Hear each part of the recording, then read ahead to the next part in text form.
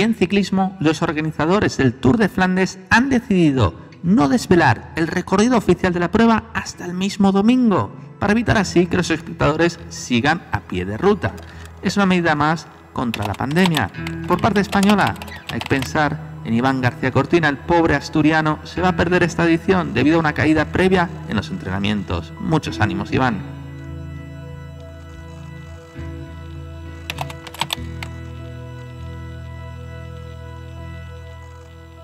¿Qué tal amigos? Imagino que esperando ansiosos ya el Tour de Flandes el domingo una edición bastante atípica es que no tenemos el recorrido oficial por lo visto la organización no quiere que se acerque el público tan habitual ¿no? en esa carrera a la carretera, a los tramos de adoquines así que he decidido no publicar el recorrido hasta último momento y eso nos da varias opciones sobre todo de tácticas, de favoritos y resultado final. Hay que tener en cuenta evidentemente que el recorrido es muy probable que lo reduzcan, tal como pasó en el Scale de Price, pero bueno, aquí ya fue un poco una kermés, ¿no? Un circuitillo en la ciudad. Flandes no espero eso, yo creo que mantendrán salida y llegada, Amberes Oudenarde y, como se especulaba a principio de año, ¿por qué no un recorrido un poquito más corto, ¿no? 240 y pocos en vez de 260 y pocos kilómetros. Y eso, pues bueno, dependiendo de si al final se une el Murcap el muro, ¿no? Será yo creo un punto estratégico para anticipar al pelotón, ¿no? Pero hay que tener en cuenta también que, que, lo más probable es que reduzcan una de esas vueltas del famoso viejo Quaremont y Paterberg, ¿no? Y eso, pues claro, implica que el Koppenberg sobre todo estaría muy cerquita de meta, ¿no? A escasos 50 kilómetros. Yo pensaba, haciendo eso, ¿no? Que sería hacer el Quaremont, el Koppenberg y luego pues seguramente el Kreisberg para volver al Quaremont y Paterberg en esa ocasión, ¿no? Claro, yo creo que esta vez sí, por primera vez en mucho tiempo, el Koppenberg podría decidir la carrera. Siempre y cuando evidentemente la escapada buena, el corte de verdad, gente que haya anticipado a los favoritos Van Aert y Van Der Poel no se han ido antes, como pasó el año de Gilbert. Yo creo que habrá una zona ahí en torno a 100 kilómetros de meta, muy buena a nivel estratégico para meterse en un grupo con buenos corredores y hacer camino, ya que es muy probable que ese grupito ruede bien durante muchos kilómetros debido a que bueno no van a ser las mismas condiciones de siempre ¿no? y al ser una carrera más corta, como yo espero, pues de juego a ese tipo de acciones. Claro, hay que tener en cuenta también que llevamos ya muchos años donde un poco se ha vuelto esa monotonía del Tour de Flandes, donde decide el viejo Quaremont como el ataque excelente de Betiol año pasado, pero ¿por qué no? no? Podemos pensar en otro tipo de estrategia, que la carrera se vaya antes y que en esa parte final con el Quaremont también pues se eh, vuelva a decidir entre algunos de los favoritos. Ah, también podemos pensar que al no haber público la organización nos vuelva al recorrido anterior un poco y dejando el Capelmur al final y eso también cambiaría un poco la estrategia, cerraría más el círculo de favoritos y digo que la cerraría sobre todo a corredores muy conocedores del recorrido como pasaba antes, ¿no? Que al entrar en esa zona laberíntica de Flandes, un corredor que no se conozca bien la zona se pierde, ya no sé dónde está, cuándo vienen los repechos, el adoquín y ahí es donde se le va la carrera, ¿no? Así que es toda una incógnita para la mayoría porque hasta el mismo día de la carrera no van a desvelar cuál es el recorrido, así como la lista oficial de, de participantes, ¿no? Pero lo más importante es que a ver qué estrategia tienen los equipos. Va a ser un Flandes realmente auténtico, sin público, eso sí.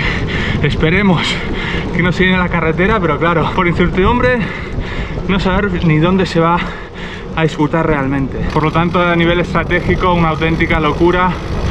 Si bien se vio la Gante en dos corredores muy por encima del resto, como eran Van Aert y Van Der Poel, pero claro, ojo a los oportunistas, a los Pedersen, Senechal mismo, ¿no? Gente que está muy fuerte, que sabe rodar muy bien, conocedoras del terreno y que no tiene nada que perder, cero presión, más que ir a, a disfrutar.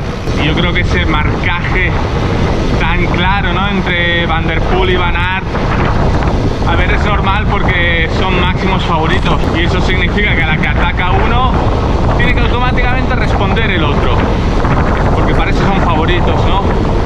pero claro si se unen y luego entre ellos no colaboran, neutralizan mucho la carrera, ¿no? Y eso, como vimos en Antegelgen, claro, abre la puerta a otros corredores, lo que para ellos el no darle continuidad no les beneficia. Evidentemente hay que tener en cuenta que hay equipos muy fuertes, que tienen muchos corredores y en un corte pueden decir, mira, yo no tiro que viene mi favorito detrás o viceversa. Y eso, a nivel táctico, si no estás en esa posición, te machaca. Moralmente te hunde. Claro, es que así lo digo porque me pasó a mí en Rubé, con Cancelar que iba delante y iba con Hushov y me decía, yo no te doy relevos que llevo a Hammond detrás.